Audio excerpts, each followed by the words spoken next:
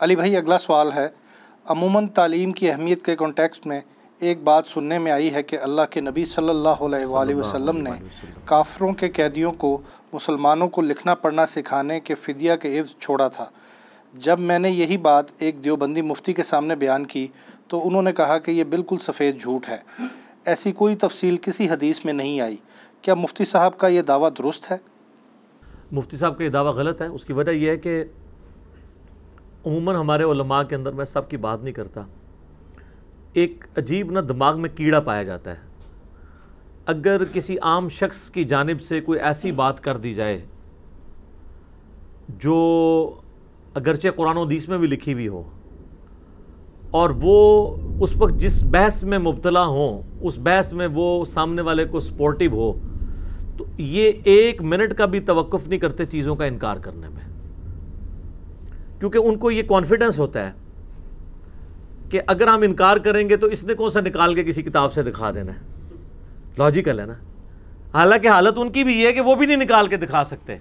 लेकिन उनको तो कोई कह नहीं सकता ये बात। लेकिन वो मुखालिफ से तो ये कह सकते हैं ऐसा बता कहाँ लिखा हुआ है? तो ऐसे लोगों का इलाज ये है कि इनको ये कहा जाए कि हम दिखा तो देंगे आपको, लेकिन बताइए जब निकल आया तो फिर आप क्या करेंगे? क्या आप अपनी गलती को एलानिया तौर पर मानेंगे?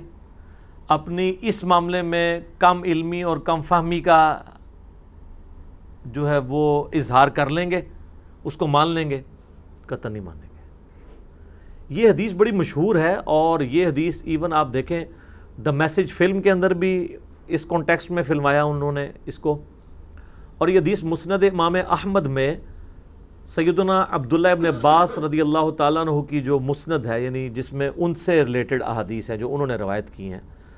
उसमें हदीस मौजूद है कि नबी सल्लल्लाहु अलैहि वसल्लम ने गज़व बदर के जो कैदी थे उनको छोड़ने का फ़िदिया जो है जिनके पास माल नहीं था तो उनका फ़िदिया ये मुकर किया कि वो इतने बच्चों को लिखना पढ़ना सिखा दें अंसार के बच्चों को। तो ये हदीस मुस्ंद आमद के अंदर मौजूद है। क्या नंबर था जी उसका हदीस का? हमने अगले दिन वो पेश भी की थी। आ, जी?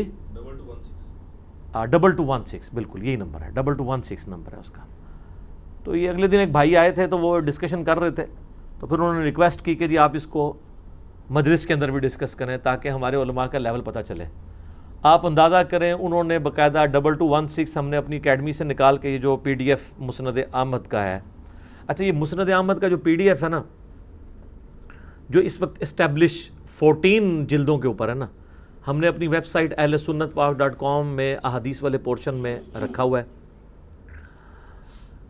इस्लाम 360 के अंदर जो नंबरिंग है ना, वो नंबरिंग डिफरेंट है। उसकी वजह से लोगों को मसला आ रहा है। मैंने जायद भाई से पहले भी बात की थी कि बुखारी, मुस्लिम अबूदाऊ तिरमजी नसाइब ने माजा की आपकी नंबरिंग, मिशकात की नंबरिंग बिल्कुल दुरुस्त है। लेकिन इस वक्त प्रैक्टिकली जो इतनी बड़ी इन्वेस्टमेंट जो मकबर रहमानिया ने कर दी है, मुसनद इमाम अहमद के ऊपर, ये मुझे नहीं लगता कोई और करेगा। इंडिया से भी एक प्रिंटिंग हुई है, लेकिन उन्होंने उसका हुलिये बिगाड़ दिया किताब का, उसे चैप्टर्स की फॉर्म में लिख दिया। उसमें तो वैसे ही नंबरिंग ख़राब हो गई। यही काम उन लोगों ने सिलसिले आदि से सैया अलबानी के साथ भी किया। मुस्ंद हदीस की वो किताब होती है, जिसमें एक तरतीब के साथ सहाबा कराम के नामों के अगेंस्ट उनसे रवायत करदा हदीसें बयान की जाती हैं, और इस चीज़ की परवाह नहीं की जाती कि उसका टॉपिक क्या है। यानी पहला चैप्टर सैदना अबू बकर के ऊपर है। अब सैदना अबू बकर ने वो वज़ू से रिलेटेड हदीस बयान की, या वो नमाज़ से रिलेटेड बयान की, या वो ज़क़़त के किसी मसले से रिलेटेड बयान की, या कोई और? ये नहीं उन्होंने देखना। चैप्टर वो कोई, वो चैप्टर सैदना अबू बकर के नाम का होगा। अगला सैदना उमर का, फिर सैदना उस्मान का, इस तरह अशरा मुबशरा के चैप्टर्स हैं, फिर उमहातुलमोमिन के हैं अल बैत के हैं, इस तरीके से चलता है। तो उसमें कॉन्टीन्यूस नंबरिंग जो चौदह जिल्दों के अंदर प्रिंट हुई है, इसका पीडीएफ भी हमने रखा है। इवन हमने जो अपना सच पेपर करबला वाला था, उसमें भी नंबर चेंज करके तो वो वाले कर दिए क्योंकि उसकी नंबरिंग का फ़र्क आ रहा था। इस्लाम थ्री सिक्सटी वालों तक भी हम ये बात पहुँचाएँगे कि प्रैक्टिकली मुसरद अहमद की नंबरिंग इस्लाम थ्री सिक्सटी किसी काम का नहीं रहेगा मुसरद अहमद के हवाले से अगर उन्होंने अपने नंबर दूस ना किए। क्योंकि लोगों ने तो वो वाले नंबर देखने हैं।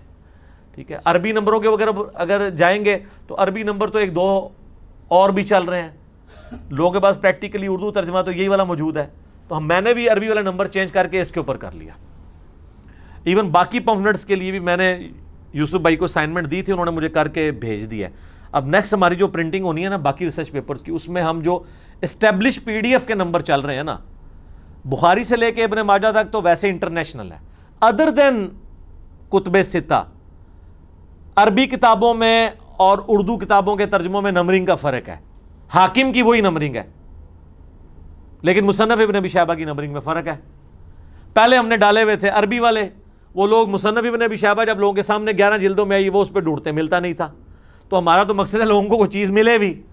खाली ये तो नहीं है कि हमने कोई इलमी रोप डाल के तो साइड पर हो जाना है। इसी तरीके से मुसनद अबी दाऊद अतयालसी का नंबर हमने डिफरेंट डाला। मुसनद अबी याला के नंबर डिफरेंट थे पीडीएफ वाले डाल दिए। सुन कुबरा अल बई हकी के नंबर हमने पीडीएफ वाले डाल दिए जो अवेलेबल थे। तो इस तरीके से आप मुसनद अहमद खोलें। Double two one six number हदीस आपको मुसनद अहमद में मिल जाएगी अब्दुल्ला इबन बास के वाले से कि अंसारियों के बच्चों को लिखना, पढ़ना, सिखाने के एवज़ फ़िदिया लेके छोड़ा गया। अच्छा वो हमारे अकेडमी में हमारे भाई आए, उन्होंने बाकायदा जनाब इधर से मुसनद अहमद निकाली बाकायदा वीडियो बनाई कि भाई आपने ये कहा था, देखें, मैं मुसनद अहमद खोल रहा हूँ और मैंने उनको कहा, ये नहीं बताना किस अकेडमी में आए हो। बस ये खोल देना कि ये देखें देवबंदियों की छपी हुई है और इसके ऊपर शेख शुएब आरनाउत जो हनफी आलिम थे, हनफी आलिम थे, अरब में फ़ौत हुए हैं दो तीन साल ही हुए हैं रही ताली। हदीस की फ़ील्ड में वो अरब में शेख अलबानी और शेख शुएब अरनौत, ये दो बड़े इमाम माने जाते हैं। तो मुस्ंद अहमद की उनकी तहकीम है, उस पर उन्होंने हदीस के सही होने का हुक्म भी लगाया हुआ है और कहा कि ये देखें। और मैंने उनको पहले बता दिया था, जब आप ये दिखाएँगे ना या तो वो हदीस मानने से इनकार कर देंगे मुफ्ती साहब, या वो कहेंगे, मैंने तो ये कहा ही नहीं था। और वही हुआ, जब उन्होंने वीडियो भेजी, उन्होंने कहा, मैंने कहा क्या ये हदीस मौजूद नहीं है? हालाँकि उस वीडियो से पहले उनको पूछा जाता ना कि आप और आपके सारे उस्ताद और शागिर्द मिल के ये हदीस ढूंढ सकते हैं, जिस हदीस को वो कह रहे हैं हदीस ही नहीं है।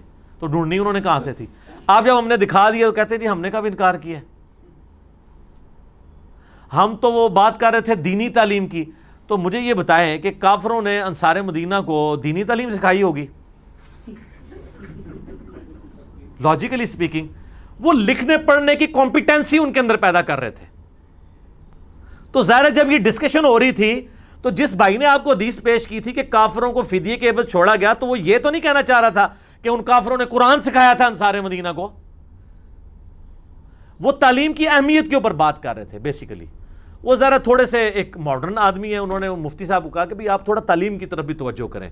बच्चों को स्कूलों की तालीम भी दिलवाएँ, ये भी तालीम अहमियत है तो उसमें तो बिल्कुल सही उन्होंने फिट इन बात की है। ठीक है? इसमें मैं आपको जिमन बता दूँ, कुछ जाली रवायतें मिलती हैं। वो भी हदीस की किताबों में तो मुश्किल से ही आपको मिलेंगी, सीरत की किताबों में कि नबी इस्लाम ने औरतों के लिखने, पढ़ने की ममानियत फरमाई है। जाली रवायतें गुलामसू सईदी साहब ने शरा सही मुस्लिम के अंदर ना औरतों की तालीम के ऊपर एक पूरा एक रिसर्च पेपर लिखा है, जिसमें उन्होंने कहा, ये तो रवायतें गलत हैं जिनकी बुनियाद पर आपने औरतों की तालीम, उसके अगेंस्ट उन्होंने ये वाली हदीस भी स्पोर्ट पर ली कि नबी इस्लाम तो मुतलकन सिखाते थे। इसके अलावा बुदऊ तिरमजी में मौजूद है, नबी सल्लल्लाहु अलैहि वसल्लम के पास एक औरत मिलने के लिए आई जो वो फिंसियों का ना दम किया करती थी।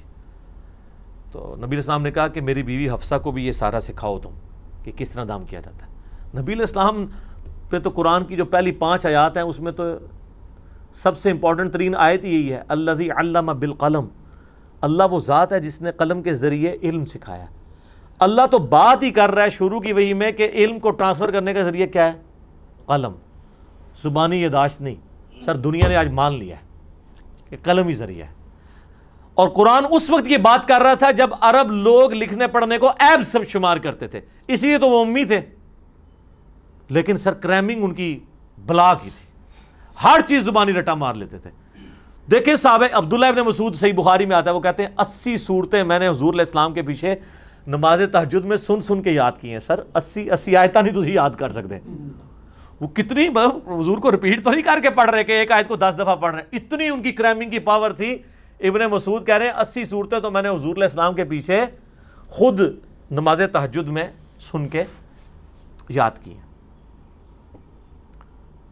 अगले दिन मेरे वाले साहब मुझे पूछने लगे, यार, वो तुमने सैदना अफ़ीफ़ रदी अल्लाह तला की एक हदीस बयान की थी, वो हमारे भाई ने हदाया पोर्टल वाले चैनल के ऊपर ना उसका एक क्लिप चढ़ाया है।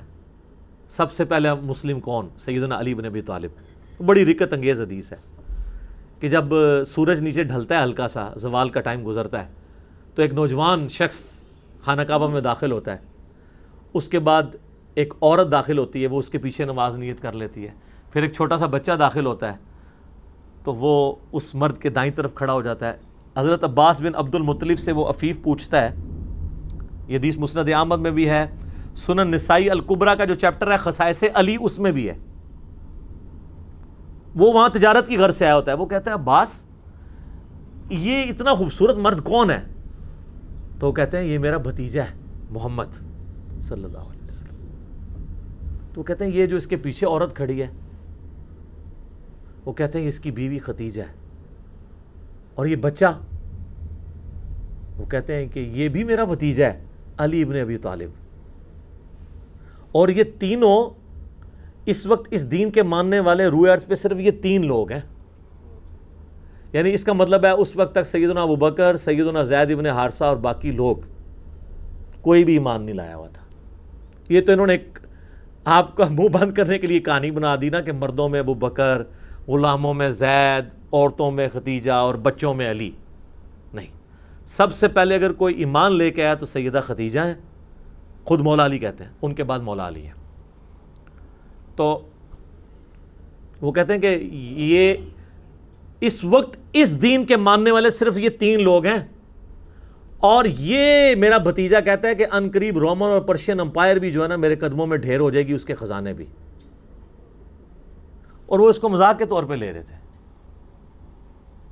और अफीफ कहते हैं कि बिल आखिर हजूर की जब दावत फैलना शुरू हुई तो मैंने भी ईमान कबूल कर लिया और आज मैं सोचता हूँ, काश उस दिन मैं वो इस्लाम कबूल कर लेता तो मैं चौथा बंदा होता। लेकिन सर, ये बाद में ही सोचा जाता है। आज हम जब किसी को बताते हैं ना कि सर, आप में ये खराबी है तो जो शरीफ लोग हैं वो तो मानते हैं कि हाँ खराबी थी, आपकी ऐसे दुरुस्त हुई। और जिनके अंदर अकड़ होती है, कहते नहीं असी तो शुरू तो असी तो कदे नहीं कदे किसी कबर सजदा की था। असी आज तक मिट्टी नहीं चटी। वो चाहते हैं कि अपनी पुरानी ज़िंदगी को भी ना किसी तरीके से बचा लें। नहीं नहीं, हम तो ऐसे नहीं हैं जो तू गला करना है, बिल्कुल असी तो नहीं है करते। हालाँकि सब कुछ वो करते रहे होते हैं, लेकिन वो अपना आप छुपाना चाहते हैं लेकिन स्याबत तो फिर स्याबत है तो वो कहने लगे, काश हम उस वक्त कबूल करते। तो मेरे अब्बा जी मुझसे पूछने लगे कि, यार, नमाज़ तो फ़र्ज़ हुई है मदीने में। तो ये मक्के में कौन सी नमाज़ पढ़ रहे थे? मैंने कहा, आपको किसने कहा है कि नमाज़ मदीने में फ़र्ज़ हुई है? नमाज़ तो पहले दिन से नबी इस्लाम पे फ़र्ज़ हो गई थी। कुरान की शक्ल में सूर्य अलमुजम्मिल में नहीं आया कि आप इस्लाम कुरान रात को खड़े होकर पढ़ते हैं और साहबा की एक जमात भी आपके साथ पढ़ती है। हाँ पाँच नमाजें मदीने में फ़र्ज़ हुई हैं। नमाज़ शुरू से ही फ़र्ज़ थी और वो थी सिर्फ़ रात की नमाज़ क़्यामुल्लैल तहजद जिसे आप कह लें क़्यामुल्लैल कह लें। नबी इस्लाम वो चाहे कभी दो रखते आप पढ़ लेते थे, कभी चार, या दिन के वक्त कभी दो रखते पढ़ ली, इशराक या वो। पाँच नमाजों का शेड्यूल नहीं आया था। नमाज़ थी। साहब कराम हजूर के पास बैठ के क्या करते थे? गपशप तो नहीं करते थे। और वो जो कहते हैं, हजूर से कुरान सुनते थे, वो कुरान इस तरह नहीं सुनते थे कि सामने बैठ के सुन रहे होते थे। आप साहब नमाज़ पढ़ाते थे, वो नमाज़ में सुन नमाज़ में ही प्रोटोकॉल से कुरान सुना जाता है। वैसे सामने बैठे तो आप में से भी कई लोग मोबाइल साथ चेक कर रहे होते हैं। वो कंसंट्रेशन नहीं होती, जो नमाज़ का प्रोटोकॉल है। नमाज़ में तो आपको पता है, मैंने कोई और काम नहीं करना, यही करना जो ये कर रहे हैं, जो पढ़ रहे हैं। तो अब आपको बुखारी की हदीस याद आएगी कि इबन मसूद कहते हैं, मैंने अस्सी सूरतें हजूर इस्लाम के पीछे सुन के याद की और अगर मुझे पता चले कि मुझसे ज़्यादा कोई कुरान जानता है तो मैं ऊँटों के जिगर जला दूँ उस शख्स तक पहुँचने के लिए जो मुझसे ज़्यादा कुरान जानता हूँ। अच्छा अब इस बात को आज का कोई बंदा कह सकता है कि इबन मसूद में इतनी अकड़?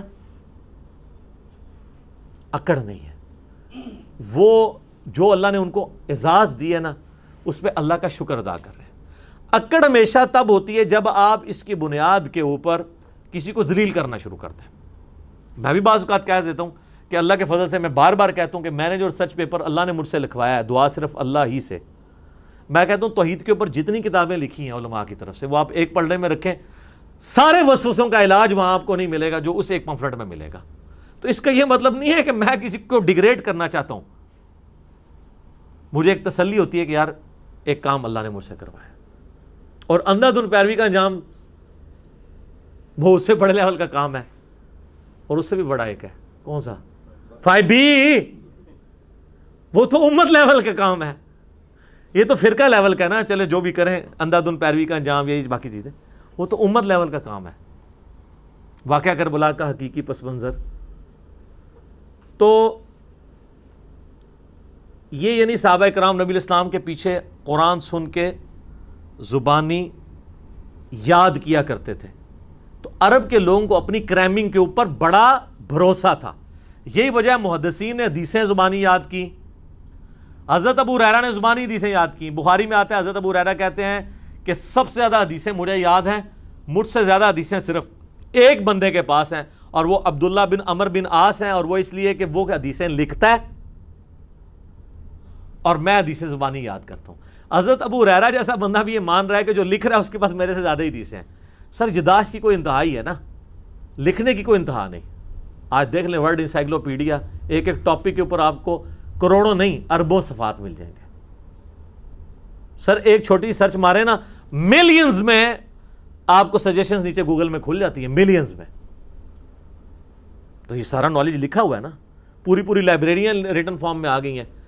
तो अब्दुल्ला बिन अमर बिन आस, ये वही हैं जिनके बारे में ये तो हदीस थी ना बुखारी की। हज़रत अबू रहरा कहते हैं, इनको हदीसें ज़्यादा याद है क्योंकि ये लिखते हैं और मैं ज़ुबानी याद करता हूँ। एक हदीस है सुन्नबी दाऊद में और मुस्ंद इमाम अहमद में। इन्हीं के बारे में अब्दुल्ला बिन अमर बिन आस कहते हैं, मैं हजूर इस्लाम से जो भी सुनता था ना लिख लिया करता था। तो मुझे बाद साहब ने मशवरा दिया कि हजूर कभी गुस्से की हालत में होते हैं, कभी खुशी की हालत में आप एक इंसान हैं तो तुम हर बात ना हजूर की लिखा करो। तो कहते हैं, फिर मैंने हदीसें लिखना छोड़ दी। तो एक दिन नबी इस्लाम ने मुझे देखा कि मैं नहीं लिख रहा तो कहा कि ये तुम वो हदीसें क्यों नहीं लिख रहे हो?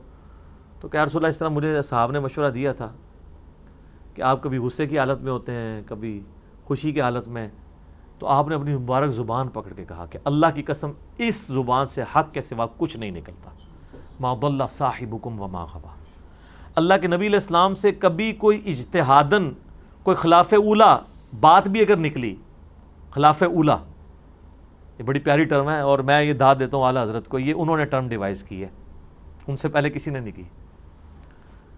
पहले डिस्कशन होती थी ना, ये काम मुस्तहब है, कर लो सवाब तो ना करो, कुछ गुना नहीं। लेकिन इसके अपोजिट टर्म कोई नहीं थी। सुन्नत के अपोजिट टर्म है ना, बिदत या तारिक सुन्नत। तारिक मुस्तहब कोई टर्म नहीं होती थी, क्योंकि जब वो है ही मुस्तहब है तो तारिक मुस्तहब क्या हुआ? तो आला हज़रत ने इसके अगेंस्ट एक टर्म डिवाइस की खिलाफ ऊला। खिलाफ औला। औला कहते हैं, यानी जो बेहतर चीज़ है। अनबी औला बिल मोमिन अमिन अनफुसहिम। उनकी जानों से भी बढ़कर नबी मोमिन के ऊपर हक रखते हैं। औला है। तो खिलाफ औला यानी जो बेहतर था ना, उसके खिलाफ किया। यानी उससे कम बेहतर अडॉप्ट किया। मुस्तहब का अगेंस्ट खिलाफ ओला तो ये खिलाफ ओला की टर्म मुझे उस हवाले से याद आई कि खिलाफ ओला बात भी नबी इस्लाम से कोई सरजद हुई ना तो ज़ाहिर है वो हराम भी नहीं होगी, गुनाह भी नहीं होगी, तब भी अल्लाह ताला उसकी रेमेडी फरमा देता था। और नबी इस्लाम वही की तायद के ज़रिए उसकी असलाह फरमा लेते थे। जैसे गजब बदर के कैदी छोड़ने का मामला हुआ। उन्हीं कैदियों के ज़िक्र हो रहा था, वो आयत भी अब याद कर लें। नबी इस्लाम ने वो कैदी छोड़ दिए थे। कुरान में आया कि आपने कैदी क्यों छोड़े? फिर अल्लाह तला ने उसकी रेमेडी भी फरमा दी कि ठीक है, आप जो फिदिया ले लिया है, वो करो। क्योंकि अभी फितना ख़त्म नहीं हुआ, अभी तो एक बैटल फ़ील्ड ख़त्म हुई है। जंग तो चलेगी फतेह मक्का तक। जंग जो हिजरत से शुरू हुई, उसकी बैटल फील्ड्स हैं। गजब बदर में एक बैटल फ़ील्ड ख़त्म हुई थी बदर की, जंग तो जारी थी। उस जंग की अगली की स्थायी ओहद की शक्ल में, अगली खंदक की शक्ल में, फिर अगली सुलह देविया की शक्ल में और फिर फतेह मक्का। तो नबी इस्लाम को वही की तईद हासिल थी। लिहाजा आपकी हर बात हुज्जत है। इसी तो माम मालिक कहते हैं ना, इस साहिब कबर के अलावा कोई शख्स दुनिया में ऐसा नहीं जिसकी हर बात मकबूल हो और कोई बात मरदूद ना हो, यानी मोहम्मद रसूलुल्लाह। और इस साहिब कबर के अलावा कोई ऐसा शख्स नहीं इनके सिवा कि जिससे इख्तलाफ ना हो सके सवाए रसूलुल्लाह के सल्लल्लाहु अलैहि वसल्लम। मादल्ला साहिबुकुम वमा गवा। तुम्हारे नबी ना कभी बह के हैं ना कभी बेरा चले। तो वो चूँकि तालीम जो है ना आ, उसकी इम्पोर्टेंस नबी इस्लाम ने सिखाई। तो किसी ज़माने में हमारे उलमा का ये वतीरा रहा है पुराने उलमा का। आज से सौ साल पहले भी चले जाएँ वो औरतों की तालीम को अच्छा नहीं समझते थे। तालीम से मुराद है लिखना वो कहते थे ना सिखाओ ज़ुबानी तालीम दो। ये ना वो आप कहेंगे जी वो पुराने लोग भी तो तालीम देते थे, ज़ुबानी तालीम। वो कहते थे नहीं। और उसमें वैसे मशहूर है ना, आपको पता है हम जब छोटे छोटे थे, उस वक्त सुना करते थे, उस वक्त तो इन बातों की समझ नहीं थी। जो बड़े लोग यहाँ बैठे हैं, वो इसकी गवाही देंगे कि ये ख़त खताबत के साथ इश्क मशूकी चला करती थी पुराने ज़माने में। ठीक है? वो अगर किसी के घर से किसी लड़के का मोहल्ले का खात निकल आया ना, किसी लड़की के घर से, किसी लड़की के लड़के घर से लड़की के खात तो वो उदम बाज जाता। था तो ये कॉन्सेप्ट शुरू से चल रहा था कि लड़कियों को लिखना ना सिखाया जाए कि लेटर्स ना लिखती रहें। अब तो मसले ख़त्म कर दिए जनाब मोबाइल फ़ोन्स ने। मोबाइल फ़ोन लेके दिए हुए हैं। मैं तो कहता हूँ, वो कॉलेजेस और स्कूल दाद के लायक हैं जिन्होंने पाबंदी लगाई हुई है मोबाइल फ़ोन्स के ऊपर। ज़रूरत ही नहीं है। बच्चे का क्या काम है? कि वो मोबाइल फ़ोन के ऊपर तालीम हासिल करेगा या वो ये काम करेगा? दूसरे ज़राए मौजूद हैं। तो ये कॉन्सेप्ट था जिससे तालीम के लोग खिलाफ होते थे। अभी भी औरतों की ऐसी तालीम जो मखलूत हो, मैं उसको गलत समझता हूँ। वो इस्लाम के मिजाज के ख़िलाफ़ है। अब ये एक लादा से एक टॉपिक है, मैं औरत के पर्दे के ऊपर अक्सर एम्फोसाइज इसके ऊपर करता हूँ। औरतों को तालीम औरतों से हासिल करनी चाहिए। ऐसे मेडिकल कॉलेजेस खसूस मैं कहता हूँ, बच्चियों को मेडिकल की तालीम में डालें। इंजीनियरिंग में डालने का कोई फ़ायदा नहीं। क्योंकि बाद में भी जाकर उन्हें नौकरी नहीं करनी। और वो जब इंजीनियरिंग की फ़ील्ड की जो बच्चियाँ नौकरी भी कर रही हैं, हमें तो पता है किस किस्म की वो नौकरियाँ कर रही हैं बेचारी। वो क्लैरिकल जॉब कर रही होती हैं, वो कोई भी कर सकता है। असल में बच्चियों को मेडिकल की तालीम दिलाने की ज़रूरत है, ताकि गायनी की हमारे पास लेडी डॉक्टर्स अवेलेबल हों। अभी भी गायनी की लेडी डॉक्टर्स पाकिस्तान में बहुत कम है। आपको नज़र तो आ रहा है कि हर शहर में इतनी है जो वो इतनी इतनी फीसें कमा रही हैं, लेकिन जब ऑपरेशन आता है तो वो मर्द को ही बुलाती हैं ऑपरेशन करने के लिए। हाँ ये जहन में रखिएगा, जब डिलीवरी अगर चली जाए ना सिजेरियन तो वो जो आता है ना सर्जन वो मर्द होता है। बहुत कम औरतें हैं जो सर्जन भी होती हैं साथ, गायनी की। बहुत कम औरतें ज़्यादातर सिर्फ़ डॉक्टर हैं, वो अपना सर्जन भी नहीं लिख सकती। सर्जन हर कोई नहीं होता। जिस तरह हर कोई मौलवी सर्जन नहीं होता। मेरा काम सर्जन वाला है ना, इसलिए ज़ाहिर हम लोगों को बुरा भी लगते हैं। अब हमें होम्योपैथिक डॉक्टर्स के साथ कंपेयर ना किया करें। हम हैं सर्जन। सर्जन का काम स्टार्ट ही चीरा लगाने से होता है। क्योंकि सर्जन के पास वो मरीज़ आता है जो सारे डॉक्टरों से लाइलाज हो चुका होता है। आप ले जाएँ किसी डॉक्टर के पास के जिसका पेंडेंस फटने वाला हो। कोई दुनिया का होम्योपैथिक डॉक्टर, कोई हाफिज़ा उल्ला कोई रहमतुल्ला ले, उसका इलाज करके बताए। उसका इलाज वो चीरा है और वो अपेंडिक्स निकाल के बाहर। इस तरह जो बीमारियाँ इंडिया, पाकिस्तान, बांग्लादेश, अफ़गानिस्तान में गुमराही की शक्ल में फैली हुई हैं ना, इन बीमारियों का इलाज इस प्लेटफॉर्म पे है। वो सर्जन वाला है, जिसको हम कभी फकी कह देते हैं, कभी एंटी वैनम कह देते हैं, कभी इल्ज़ामी जवाब। बल्कि सर्जन का काम तो इतना ख़तरनाक है, स्टंट तो डलते हैं ना, स्टंट की भी एक पता है आपको हद है, उसके बाद स्टंट भी नहीं डलते। फिर क्या होता है? बाईपास, और बाईपास के लिए चलता है ग्राइंडर। किसी बंदे को अगर बाईपास से पहले यूट्यूब पे बाईपास की वीडियो दिखा देना कि इस तरह तेरी पसलियाँ ऐसे ग्राइंडर से चलनी है, वो शायद पहले ही मर जाए। अगर कमज़ोर असाब का बंदा हो कि यार ये सब कुछ होगा और दिल निकाल के बाहर रखेंगे यूँ और वो सारा काम करेंगे तो लेकिन वो अल्टीमेटली इलाज होता है। आज देखें बाईपास मेरे अपने रिलेटिव्स में लोग हैं, तकरीबन पंद्रह साल, किसी को बीस साल हो चुके हैं बाईपास कराए हुए। अच्छी लाइफ सेहतमंद गुजार रहे हैं। अल्लाह का शुक्र है। तो ये अल्लाह ने एक इंसान को तरक्की करवाई है ना, इल्म की बदौलत। तो ये सर्जन के काम में ये काम करना पड़ता है।